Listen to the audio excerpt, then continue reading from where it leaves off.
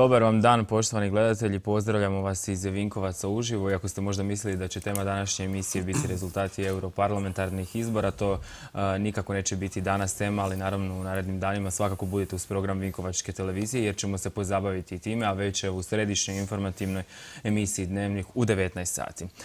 tema današnjeg izdanja emisije iz Vinkovaca uživo, nažalost su poplave i dalje. Posljedice ove katastrofe su dakako vidljive, a dobre vijesti ipak stižu, ako ih možemo tako i nazvati, u odnosu na početak poplave imali ste prilike čuti u vijestima.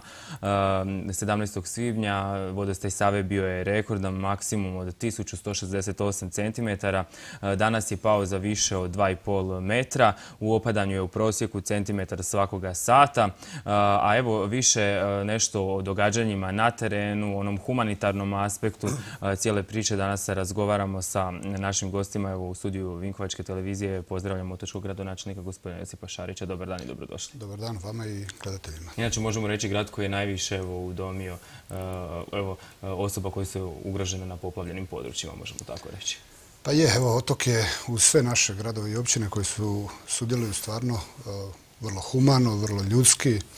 Otok je ovog trenutka, u stvari svo vrijeme nekako najviše je udomio ljudi. Dakle, 1860 je jutrošnji podatak i taj broj otprilike sad tu negdje drži se. Evo. U nastavku naravno emisije još ćemo razgovarati evo, što se konkretno događa u otoku. Znamo da je dvorana bila prazna. S nama je također i gospodin Ilija Cota, donedavno koordinator za humanitarnu pomoć, a sada operativni časnik za vezu Stožera za zaštitu i spašavanje Vukovarsko-Srijemske županije. I vama je dobar dan i dobrodošli. Dobar dan vama i gledateljima Vinkočke televizije. Eh, ono što možemo poručiti našim gledateljima je da su telefonske linije otvorene, zvati nas možete na 064 ali mi svakako preporučamo, ako nemate nekakav konstruktivni komentar, savjet ili zamolbu, da taj novac koji planirate utrošiti na poziv na našu emisiju, to učinite eh, i pozivom na humanitarni eh, telefon, humanitarne telefone, točnije, a evo podsjetnika na koje telefone možete zvati.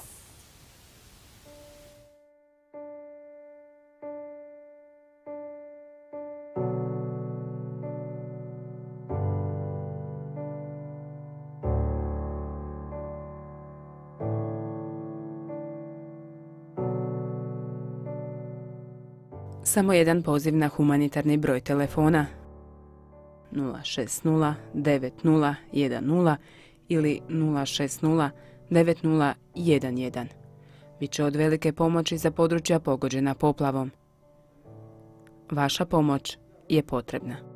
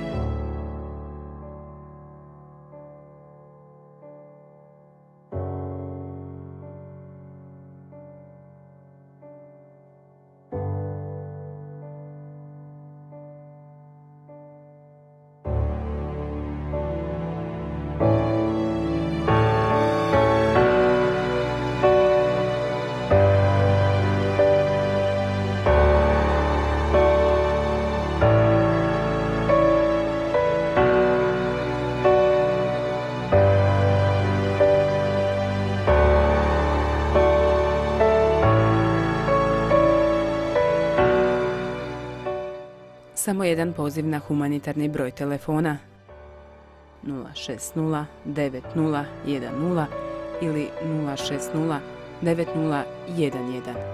Biće od velike pomoći za područja pogođena poplavom. Vaša pomoć je potrebna.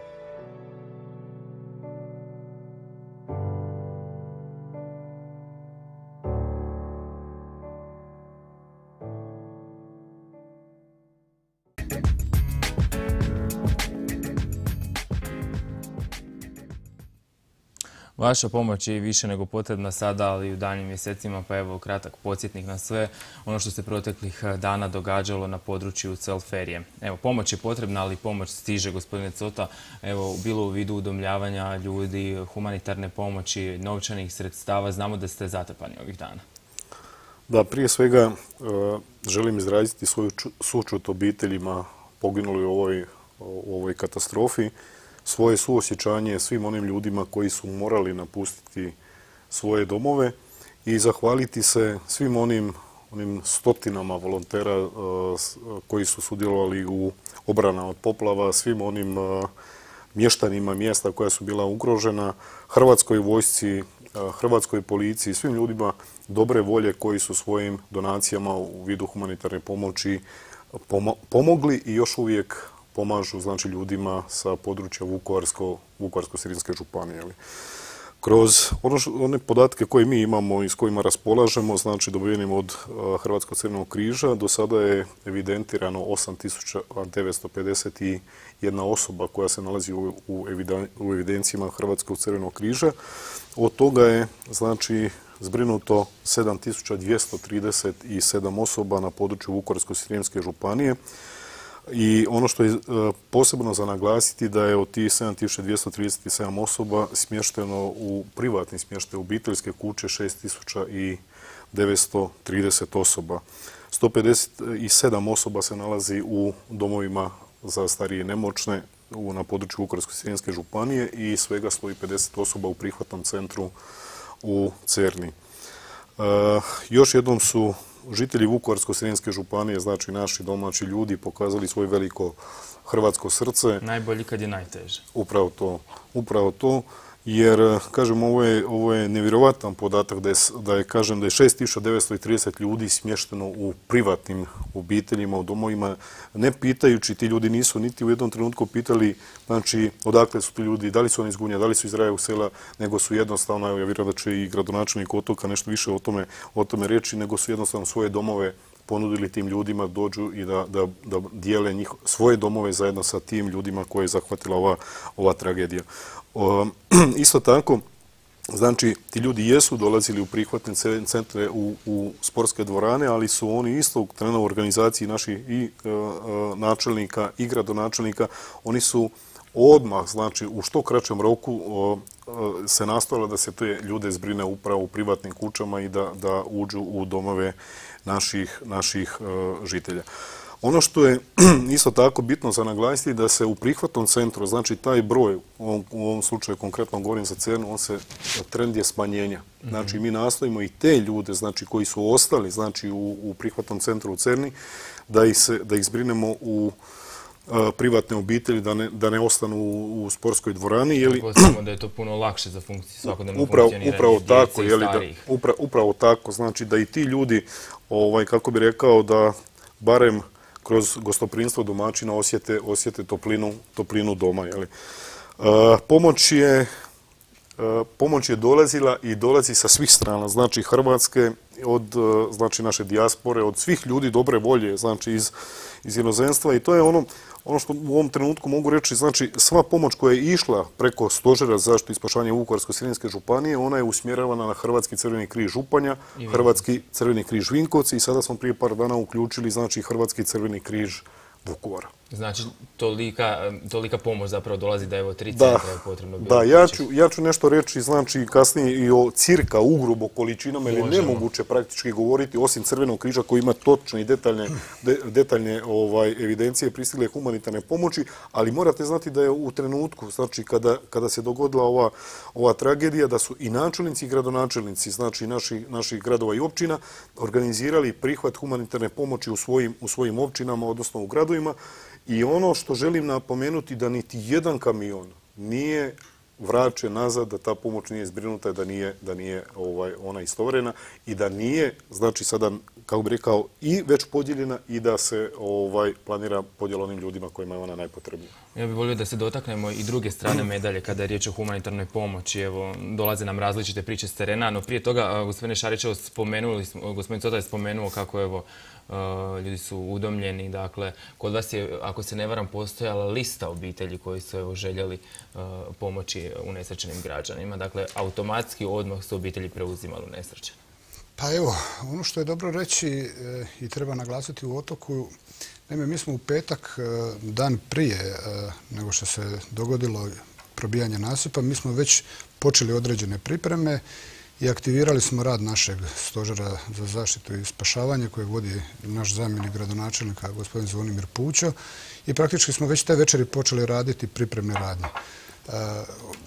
Dakle, prvi ljudi su u otok stigli u subotu na večer negdje oko, čini mi se, sedam ili pola osam već, ali u tom trenutku je stiglo mnoštvo autobusa, veliki broj ljudi, jer je otok i u kontaktu sa našim županijskim stožerom bio prvo mjesto koje je pripremio se da može primiti ljude i jasno da je u tom trenutku e, pojavio se veliki broj ljudi pomalo gužve, ali ono što je važno reći da e, naši sugrađani koji su evo prihvatili ulogu udomitelja, doslovno su te ljude za ruke hvatali, mi ih evidentiramo i vodili u svoje domove. Evo, na kraju to rezultiralo sa 1860 e, smještenih, dakle nitko nije u sportskim dvoranama, svima je organizirana prehrana, kuha se ne znam 600 obroka u otoku, Hrvatska vojska e, kuha hranu, naši volonteri e, dijele tu hranu, mladi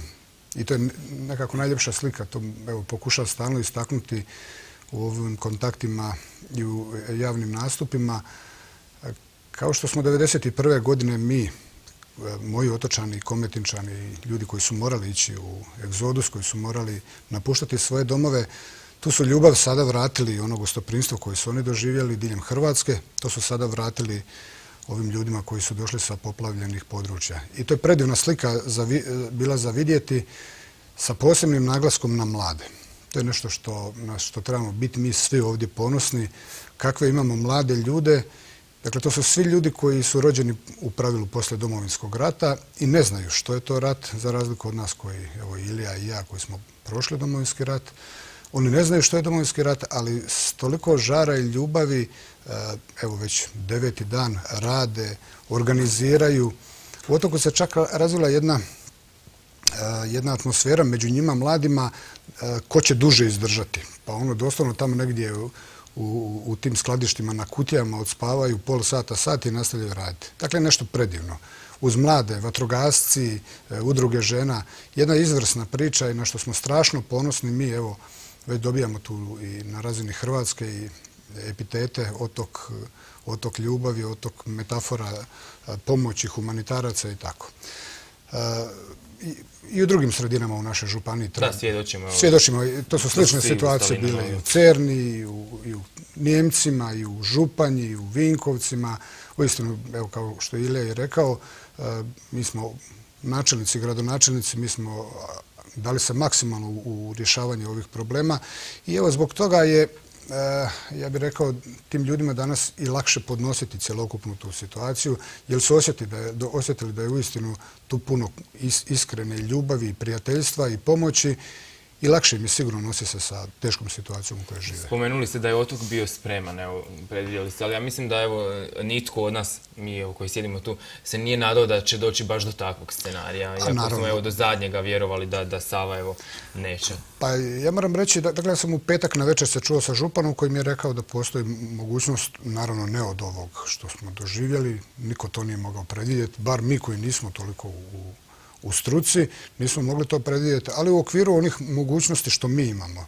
Ja to moram reći ovdje, e, i na razini županije i općine i gradova koji su u ovo uključeni, mi smo uistinu dali maksimalno sve što smo mogli. Sve resurse, ljude, organizaciju, e, financije, radimo doslovno od ujutru do navečer, svi zajedno.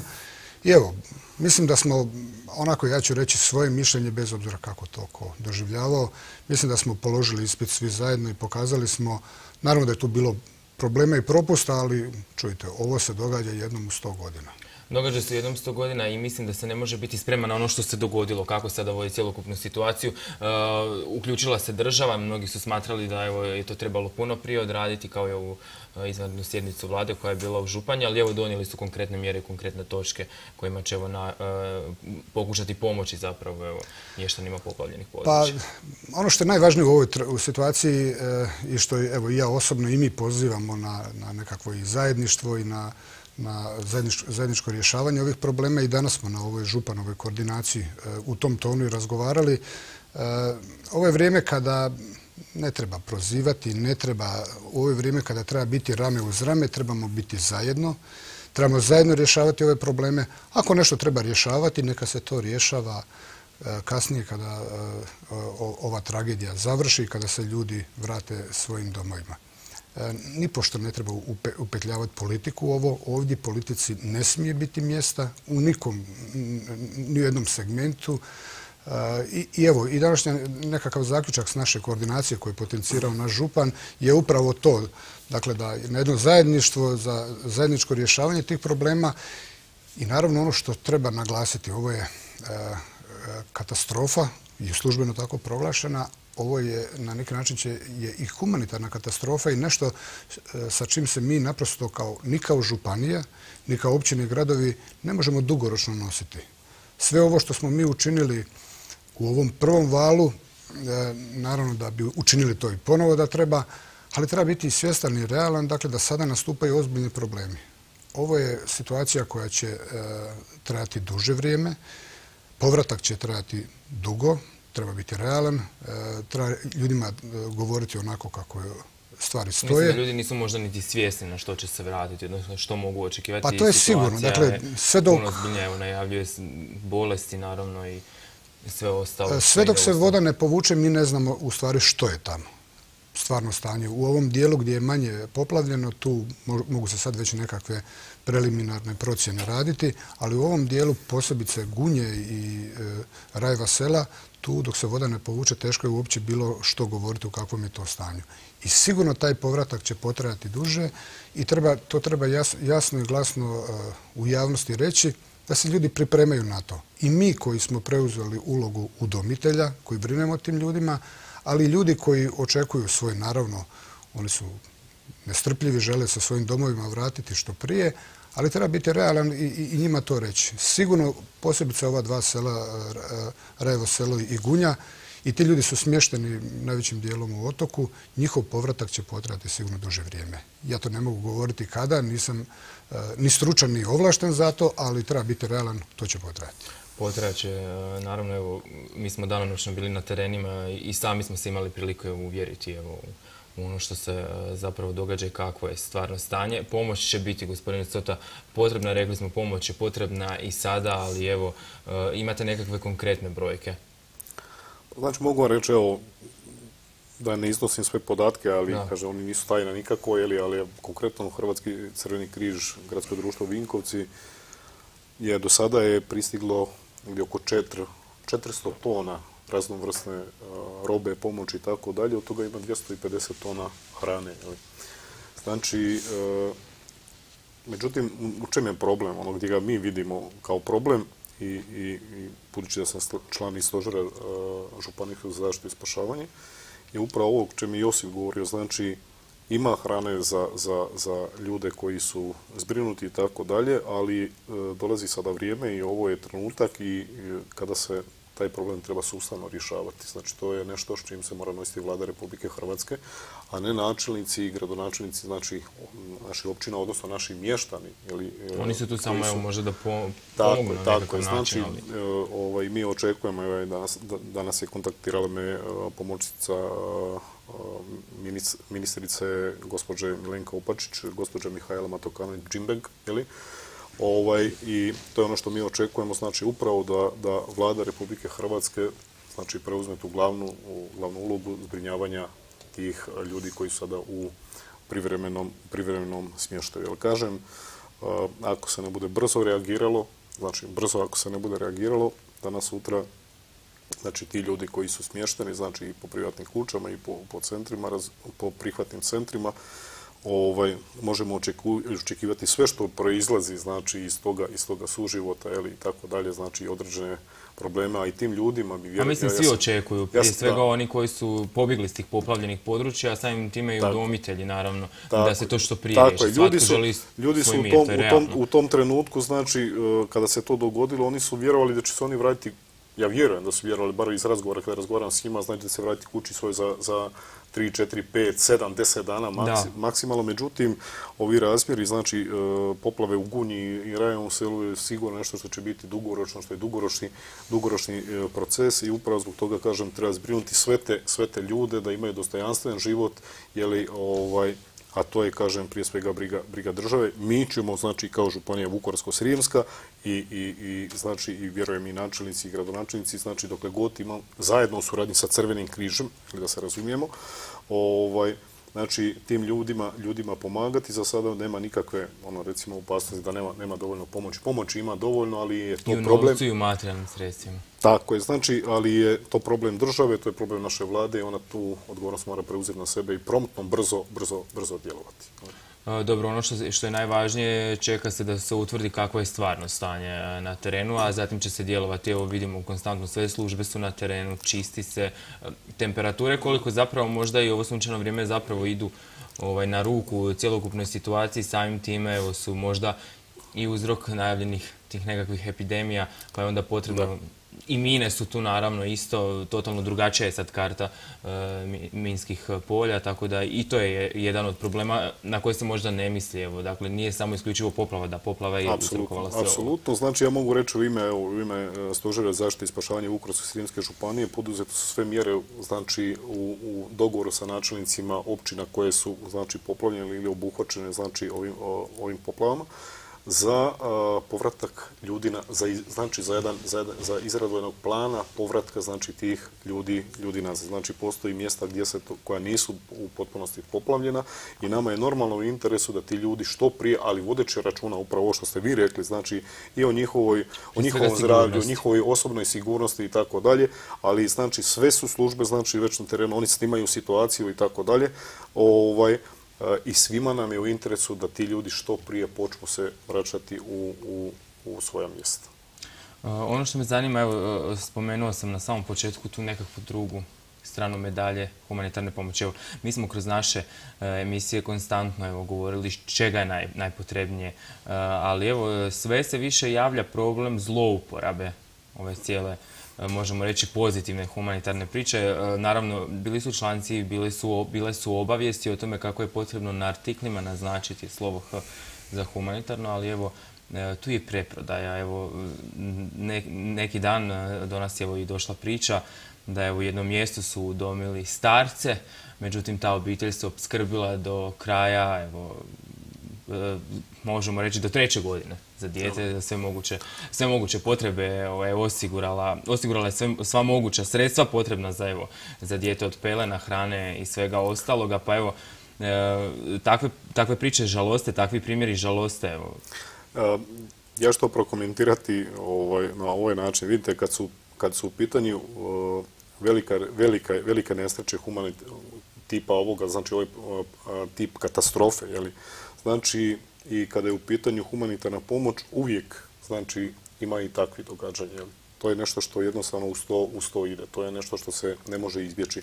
Međutim, ja pozivam sve one građane, znači i naše županije i one koji imaju takva saznanja, znači da se radi o zlouporabi znači humanitarne pomoći, što je po meni osobno, to je moje mišljenje, znači to je prije svega je kazneno dijelo, a s druge, s druge strane, kažem, to je, mislim, ono da je to najniže nešto što može u čovjeku biti, znači uzimati onima hranu, tu pomoć i tako dalje kojima je, ona namjena i ja ih pozivam znači da to prijave policiji, znači da prijave policiji ako ima takvih pojava.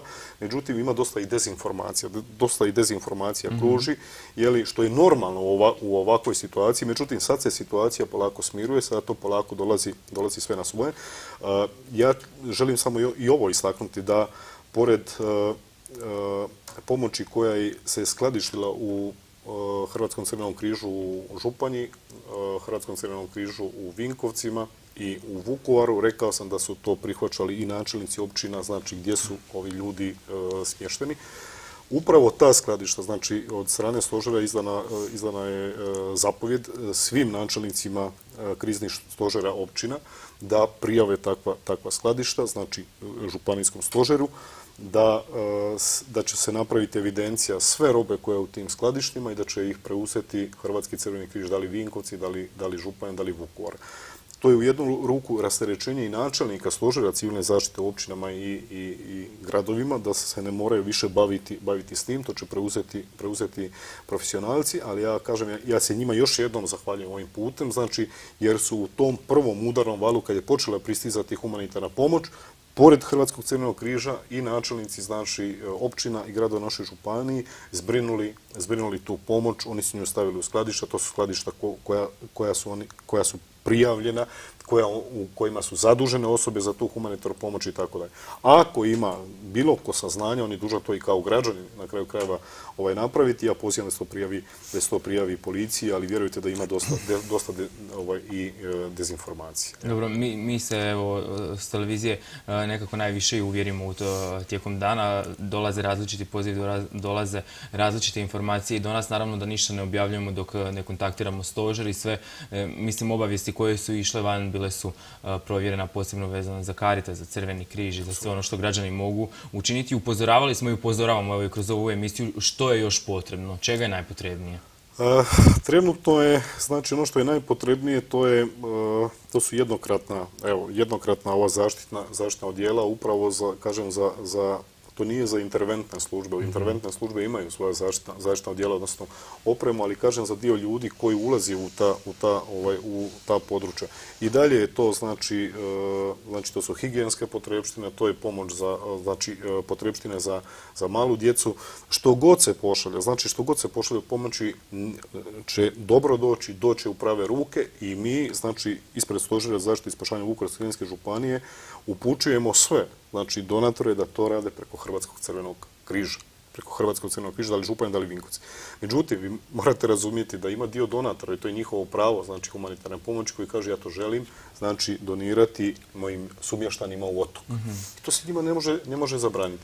Ti ljudi traže da se njima izdaju određene potvrde i tako dalje. Postoje osobe, to su načelnici, gradonačelnici, odnosno načelnici stožera, odnosno osobe koje su zadužene za vođenje, vođenje tih skladišta. Znači, ne možemo te ljude, ovaj, kako bi rekao, ja kad razgovaram s njima dok sam, dok sam radio na, na, na humanitarnoj pomoći, uh, pokušavam mi usmjeriti da li na Hrvatski crveni križ, jer međutim oni kažu ne, mi želimo to ovaj, zbilja odnijeti u otok, želimo u Cernu. Cerna je recimo dosta prihvatni centar u Cerni, je dosta medijski bio eksponiran, svi su čuli za prihvatni centar ovaj, u Cerni. Imali smo problema da jednostavno načelnik općine Cerna više ne može, ne može primati pomoć, nema skladišnih kapaciteta da, je može primiti, onda smo tu pomoć usmjerivali u, da li u Crveni križ Županja, da li u, u Crveni križ ovaj, e, Vinkovce.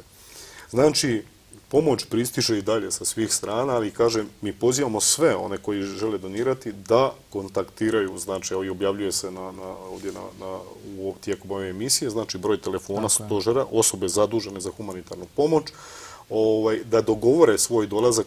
Recimo na početku... Olakšat će i vama i Upravo to, upravo to. I ono što želim još posebno istaknuti, znači stvarni heroji u ovoj cijeloj priči su svi ovi ljudi, kažem, koji su sudjelovali u, u ovoj jednoj humanoj priči, da li kroz donacije, ljudi koji su se borili sa, sa, sa, sa, sa, ovaj, poplavama, ali i volonteri, nad stotine volontera Hrvatskog cijenog križa Županja i, i Vinkovci i, i tako isto i u. Ne znam hoćete li se složiti sa mnom, ali evo nama uvijek je fascinantno kada smo na terenu da susrećemo ljude iz različitih dijelova Hrvatske. Dakle, navijači iz Dalmacije, iz Zagreba, e, iz svih krajeva stvarno su došli evo, e, dati potporu, raditi na nasipima, volontirati. Dakle, to su isto, možemo reći, u ovo ružno vrijeme lijepe priče. Samo ako mi dozvolite. Evo, znači, uvjerio sam se upravo u ovo što ste vi rekli. Znači, bio sam drugi dan, znači, nakon što se, što se dogodila, dogodila ova, ova tragedija. Ovaj, I vidio sam na stotine, na stotine ljudi, znači iz razno raznih krajeva Hrvatske. Znači u hrvatskom narodu postoji taj dobri duh. Samo ga mora neko pobuditi, mora biti taj neko ko će ga inicirati i na kraju krajeva usmjeriti u, u pravom smjeru. Nažalost,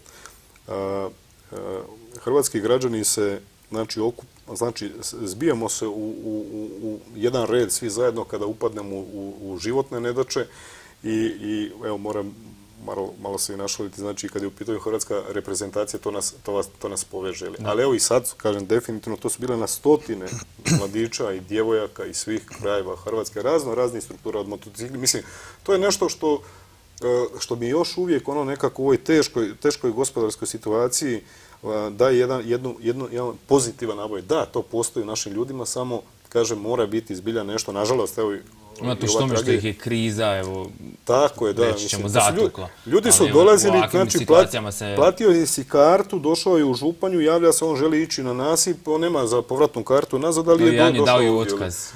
Da, da, mislim, to su nevjerovatne priče. To ćemo u stvari, toga, još uvijek toga nismo svjesni. Znači, kada ovo sve završi, kada se ljudi vrate na nasad, odnosno kada ovo završi, kada se napravi jedna detaljna analiza i tako dalje, ovaj, vjerujte mi da, da, da ćemo tek onda biti svjesni što se ovdje događalo i u stvari koliko smo u svemu tome mi svi sudjeli, kao svi ovi čimbenici evo, koje, smo, koje smo danas spominjali. Gospodine Šarićevo, čuli smo na izvanrednoj sjednici u Županji vlada će, država će učiniti sve evo, da pomogne. Između ostalog, evo, treba se okrenuti fondovima Europske unije za obnovu, pomoć se evo, traži u Europi. Pa naravno, ovo je u financijskom smislu teret koji mora snositi Hrvatska država u cijelosti. Moramo tu pokazati veliku dozu solidarnosti i zajedništva. E, to je, ponavljam, to nisu sigurno problemi koji sada dolaze, s kojima se možemo nositi naše općine, naša županija. To su premali proračuni da možemo govoriti o bilo kakvom ozbiljnom poslu. E, ono što naravno Hrvatska vlada ima mogućnost, e, to je korištenje evropskih fondova i vjerujem da ako sam dobro e, zapamtio, negdje se spominje, čini mi se 290 milijuna eura da bi trebala biti visina štete. Ali ono što, što nas zanima možda je to da evo s obzirom na sve što se izgovorilo i što se pisalo i pričalo na račun ove vlade, a vezano za ostvarivanje i povlačenje sredstava iz fondova Europske unije, koliko će ovi ljudi zapravo morati čekati da se to ostvari evo i na ovom polju, odnosno evo za, za ove odštete? Meni je to teško govoriti. Ja nemam te informacije, ne znam što se... Dobro, baš komentar evo možda s obzirom na sve do sada što ste imali prilike vidjeti. A do sada iskustva nisu dobra što se tiče povlačenja sredstava iz evropskih fondova, ali ne bi trebalo to mijenjati teze. Da li, ćemo mi dobiti novce iz evropskih fondova, pa ako ne dobijemo, što onda? Ne, da li ćemo ih dobiti prije, s obzirom na katastrofalno stanje ovdje? Vjerujem da da prije. Jer premijer je izjavio da moramo biti pedantni. ali vjerujem da da prije da i, i Evropska komisija u ovakvim izvanrednim okolnostima i ovakvim situacijama ima drugačiji, drugačiji pristup rješavanju tog problema, ali ponavljam ono što je ključna stvar. Ovo je briga Hrvatske države. Hrvatska država mora se pobrinuti za cijeli taj prostor, za sve te obiteljske kuće, za svu uništenu e, imovinu koja je uništena tamo, za infrastrukturu, ceste, vodu, kanalizaciju, sve tamo što je uništeno. To je briga Hrvatske države i to tako treba biti. Ja vjerujem, to je i sam premijer u svojim dolascima ovdje e, to rekao i vjerujem da će to tako, tako i biti. Ozbiljan je posao pred nama. E, ono što je najvažnije, malo bih htio samo ovo prokomentirati, ovo pitanje dezinformacija u javnosti.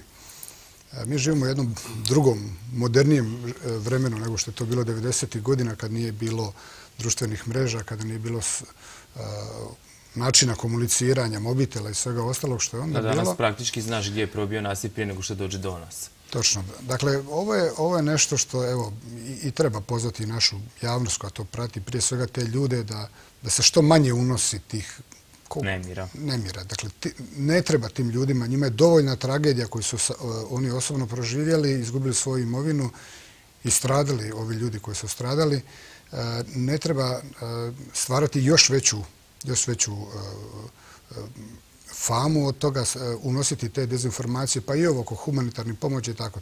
Kao što je Ilija rekao, sve to treba prijaviti policiji i treba sankcionirati onoga ako se uopće time bavio ja osobno mogu reći na području otoka, otoka takvih događanja nema. Vjerujem, ja vjerujem, vjerujem da, da je to tako i u drugim dijelovima naše županije, u općinama i gradima gdje, gdje su smješteni ti ljudi, gdje se distribuira ta pomoć. Vjerujem da je to tako. A gledajte, uvijek ima onih koji nisu baš dobronamjerni u ovakvim situacijama i njih treba ignorirati. Dakle, treba sve one koji pozitivno razmišljaju, e, koji, žele pomoći, pozvati na zajedništvo, na solidarnost i to je ono što ključna, poruka treba biti po meni svih i javnih nastupa, bez svađe, bez prozivanja, bez e, traženja odgovornosti. Ovo je vrijeme... Ali evo i dalje, u ovih nekoliko dana odgovornost se traži za pucanje nasipa. Evo, neke su teorije iznesene. E, počelo se također upirati s prstom evo, od strane pa ja bih rekao da svako ko iznosi optužbe ovog trenutka nema nikakve dokaze za to je u najblaže rečeno neozbiljan. E, čuli smo za te optužbe i ja vjerujem da će uslijediti i prijave, e, kaznene prijave za one koji su iznosili takve e, lažne optužbe ili već je vrijeme utvrditi, istraga će utvrditi što je od toga istina ili ne, ali ovo je vrijeme kada se ne smije igrati ljudskim osjećajima, kada se ne smije pozivati, pozivati javnost na linč. Upravo suprotno, treba smirivati e, stanje, treba biti odgovoran. Svako ko je odgovoran, e, svaku svoju riječ koju izgovori, mora znati da ona ima težinu, pogotovo ako se radi o dužnosnicima, bilo vlade ili bilo koga drugoga, da mora znati da njegova riječ ima težinu i da, i da se ne smijemo igrati sa osjećajima, sa emocijama e, tih ljudi koji su danas proživljavaju to što proživljavaju. Ja svakako biti oprezan u medijskim istupima. Uh, gospodin Soto, ono što me zanima, poljoprivredni aspekt cijele priče. Znamo da osim pomoći evo, ljudi, pomoć su trebale i životinje, da, pomoći sada naravno trebaju, treba ih prehraniti.